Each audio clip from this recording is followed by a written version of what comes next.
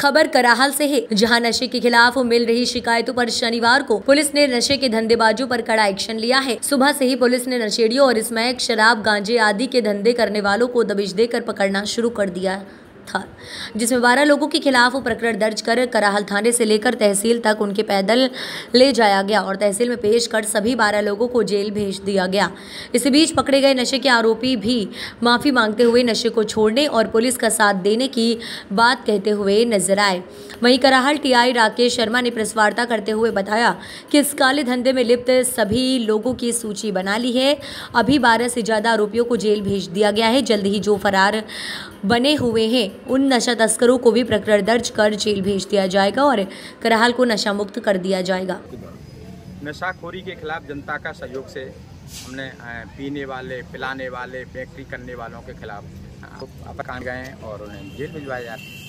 कार्रवाई निरंतर जारी रहेगी। जारी रहेगी। एक भी नशा करने वाले को छोड़ा नहीं जाएगा बिक्री करने का। अभी तक कितने लोगों को गिरफ़्तार किया जा चुका है? आज बारह लोगों को गिरफ़्तार किया है। अभी किन का जुलूस निकाला गया था? कोई जुलूस नहीं निकाला। हमारी गाड़ी खराब गई थी हम सर जो आज कराल पुलिस द्वारा एक ऐतिहासिक कार्रवाई या कराल में की है जो सब लोगों ने देखी है आज थाने से लेकर तहसील तक जो नशे का कारोबार करते हैं या नशा पीते हैं उन लोगों को तहसील तक पैदल ले जाया गया। क्या कार्रवाई की है सर आज आपने?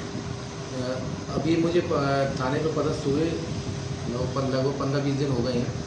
और थाने की कार्यप्रणाली को भी लगभग समझ लिया है। और यहाँ जो है ये कराहल पिछले काफ़ी समय से जो है नशे की गिरफ्त में आ चुका था।